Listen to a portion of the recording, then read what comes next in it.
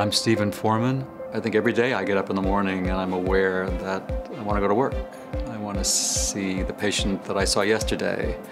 I want to see what the experiment that we did yesterday, what the result was, and somehow figure out how to make that result be a benefit to the person I'm going to see in the clinic. And that's true for all of us, I think, in this program, uh, where the focus is on the cure of leukemia, lymphoma, myeloma, myelodysplasia, and all those diseases.